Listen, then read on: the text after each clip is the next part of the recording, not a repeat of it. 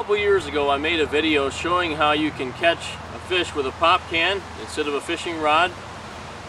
And that video has gone on to become the most popular one I've ever uploaded to my channel. So today I'm going to give you a chance to get involved in the action.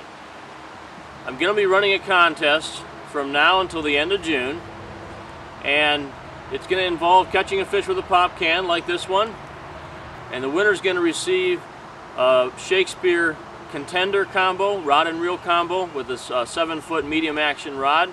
I have the smaller version of that combo and I really like it so I think it'll be a nice prize for somebody.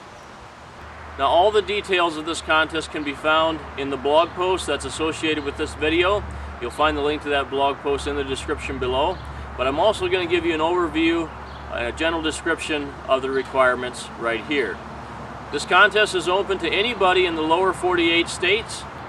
I don't want to have to ship the prize internationally or to Alaska and Hawaii, so just keep it within the lower 48.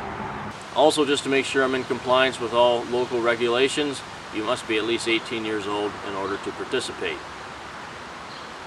Now, there are four steps to participating in this contest. First of all is you have to build yourself a pop can rig like this one. Now I don't care what you have on the end as far as bobbers or hooks or, or, baits or anything like that, but it does need to be a pop can rig instead of a rod and reel. The best way to learn how to, how to uh, make something like this is just to head on over to the video that I talked about earlier. You can find the link to that video in the description below or in the card attached to this video. The second step is you have to go catch a fish with this rig It has to be at least six inches long. It can be any species of fish. And you have to catch that on camera. The third step is you need to upload that video to YouTube. Now that video needs to be family friendly. My version of family friendly might be different than yours, so please check out the blog post for all the details on that.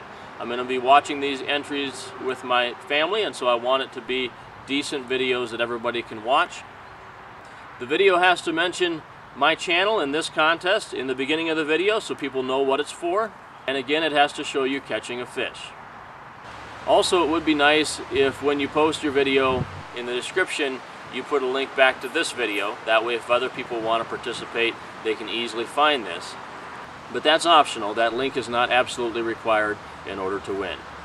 And then finally, the fourth step is you need to email me on my Gmail account uh, to let me know that you've uploaded the video and give me a link to that video.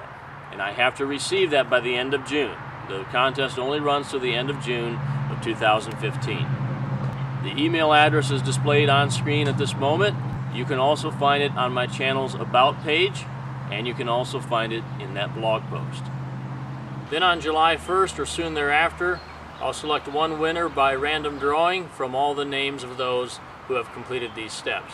One final thing I might mention is that if a lot of people participate in this, if I get a good response, I'll be adding more prizes as well as the contest progresses.